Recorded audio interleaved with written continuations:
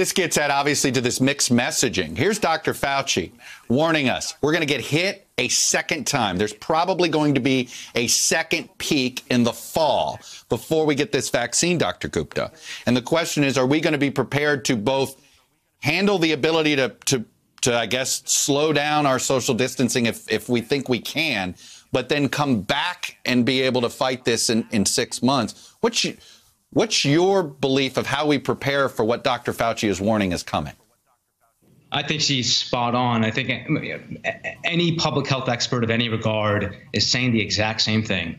This is not going to magically just go away uh, forever. That there, this, he's exactly right. What we see with flu is that the southern hemisphere first has their seasonal affliction with flu, and then a few months later we get it and then it's it just gets cycled around the globe. And so that's what we're we're definitely fearful about what's what we're seeing in the southern hemisphere, and we need to be prepared, which means let's get a stockpile of ventilators and PPE up front while we're also thinking about therapeutics, while we're also thinking about vaccine development. We need to be doing these in parallel because, right. yes, winter, we're going to have a really harsh reality. And he's spot on. Hello, YouTubers. If you're watching this, it means you've checked out our channel, so thank you. Now do me a favor, subscribe by clicking on that button down there.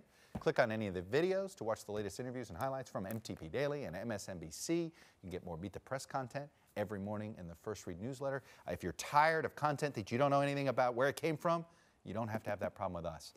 NBC News, MSNBC, MTP, and the Meet the Press mindset right here for you on YouTube. Subscribe now.